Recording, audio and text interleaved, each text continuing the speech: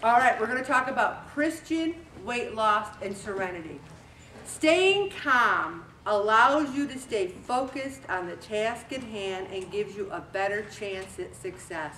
How many people started January 1, I'm going to lose weight, I'm going to go to the gym an hour a day, I'm going to uh, eat three yogurts, and I'm going to do this, and they got this whole frazzled intensity, and they petered out.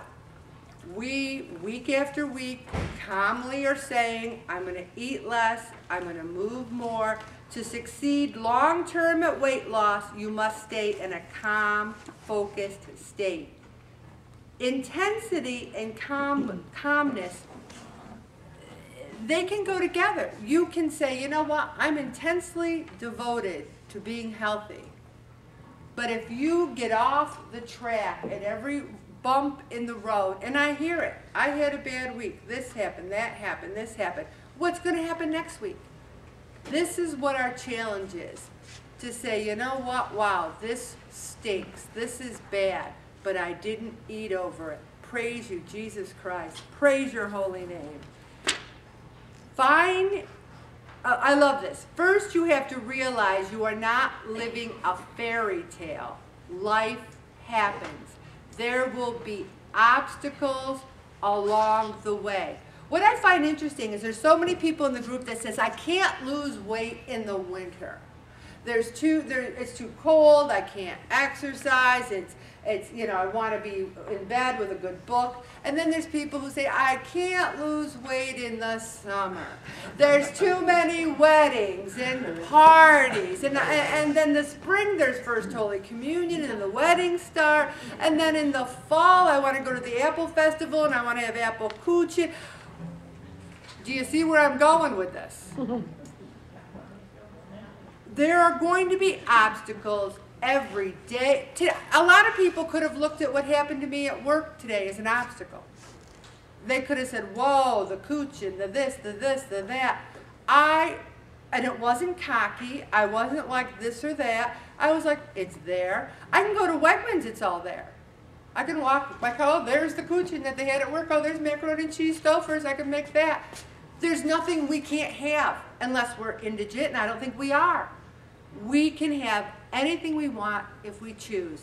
Bob and I had tilapia twice last week. We had tilapia twist with the apples and the pineapple. I was making noises. I was going, mmm, oh, oh. And then the next day, we had like Dijon, Dijon mustard with onion bits on it. I was making noises again. I thought the tilapia twist was the best. Guilt-free eating a little green beans on the side one day, a little side salad on the side the other day. It wasn't expensive. It didn't take long to make. It was guilt-free eating. We need to say there's going to be obstacles. The cheeseburger does not make it go away.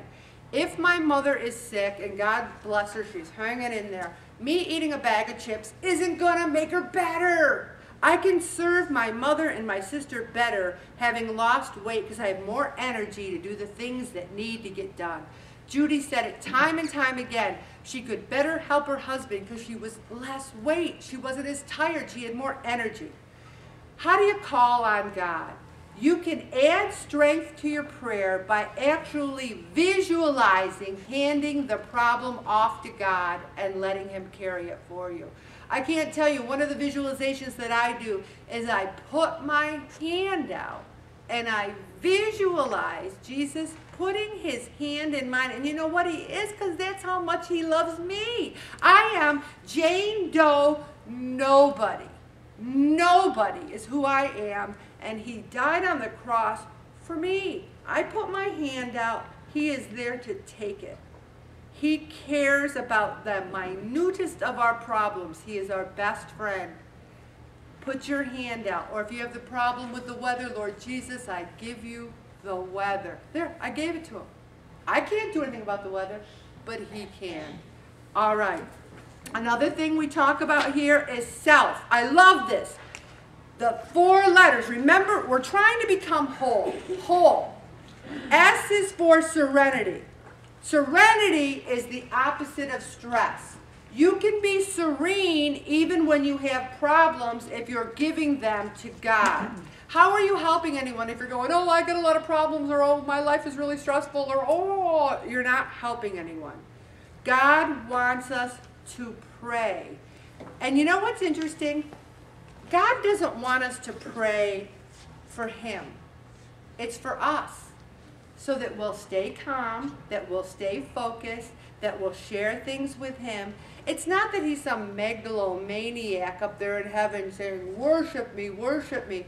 It's like when we do worship Him, we come out of ourselves and our own problems. We're calmer, we're more mm-hmm. serene. The prayer is to bind us together in love. When I pray for Judy, I'm binding myself to her in love. When you pray for my friend's mother, you bind yourself to me and to her in love. We're praying for us. That's what I say. Pray it off. The logs aren't for me, they're for you. Prayer isn't for God as much as He wants it to be for us. E is for exercise. Our bodies are created for motion. Do you know you can Google exercise and it really doesn't go much past 1940. Before 1940, no one really talked about exercise. You know what they had before 1940? Life.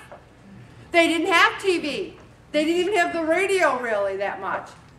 Exercise started being talked about when we started sitting on our duffs, watching TV, having office jobs, not getting out and doing things. Our bodies were meant for motion. I kicked it up this week and I saw good results. You got to make the time for it. L is for love. I believe, I want to put in there L is for love, and I also think L is for laughter. Because no matter what happens, you know, you go to a, a, funeral or a wake, and when I was younger, I'd hear people laughing, and I'd think, why are they laughing? Someone died, you know, they shouldn't be laughing. But, you know, someone will tell a story about, you know, your loved one, and, and, and remember a time. And, and when I lost my very best friend, Karen, to breast cancer, I, I did her eulogy at the funeral, and I brought the house down. We were rolling in the aisles. We were rolling in the aisles. I told about our first concert was Jethro Tull. We were sophomores in high school, and I kept saying, "Where's Jethro Tull? Which one's he?" You know, we had no idea what we were doing. You know, it was just a really, really loving, beautiful time to remember her. Pray It Off is about the love. To me, it is. When I come here, uh, Bob goes home and I say, how many women did you hug tonight, Bob? It's a good thing I'm not a jealous woman. You know, I look over there's my husband hugging this one, that one. It's all about the love. And F, food is for fuel. F is for food, but food is our fuel. It is not our entertainment, it's not our hobby, it's not our crutch, it's not our disease, it's the fuel that keeps us going. And what's interesting, I found out I don't need a lot of fuel. My body's like, that's enough fuel. I'm all set. I wish we had a gauge, like when it, like in the car. Okay, there we go. Oh, oh, I need oh, too much. I mean, when you put too much gas in your car, it goes all over the place out in the asphalt. It mentions fish oil and blueberries. I am a big proponent of both. Okay, I'm going to whip through this next thing here. I'm going to stop there.